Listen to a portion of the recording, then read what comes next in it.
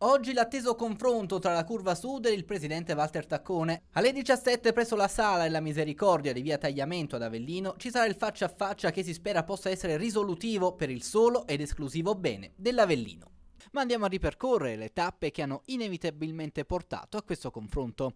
Il 16 novembre il presidente Walter Taccone nel corso della conferenza stampa indetta per fare dei chiarimenti in merito alla questione societaria si era così espresso. Io ho invitato tutti, anche, anche la curva sud, spero che ci fossero qui, perché questi della curva sud devono, devono mettere fuori la testa e devono parlare con me, perché scrivere comunicati strani o mettere striscioni serve a niente. Questa è un'ulteriore spaccatura. Venissero da me e chiedono spiegazioni ed io cerco di dargliele se riesco a dargliele.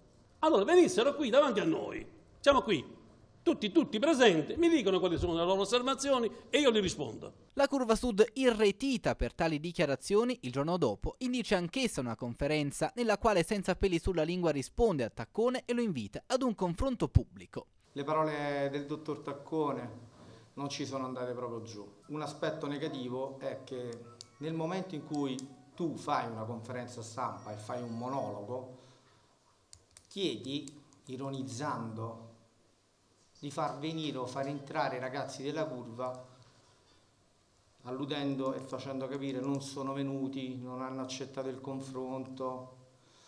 Questa per noi si chiama istigazione alla violenza. Io al signor Taccone gli voglio far vedere tutte le facce della curva e tutte le facce della gente che lo contesta.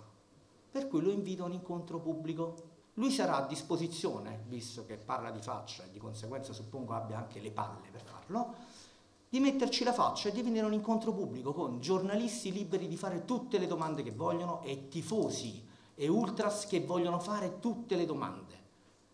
Lo aspetto, lo aspettiamo a braccia aperte.